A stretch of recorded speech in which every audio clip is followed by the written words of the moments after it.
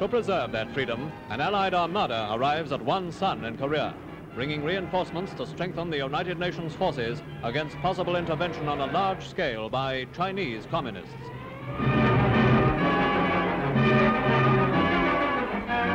Restoring wrecked bridges en route, the troops make their way up to the front, now only 60 miles from the Manchurian border to meet the Chinese threat.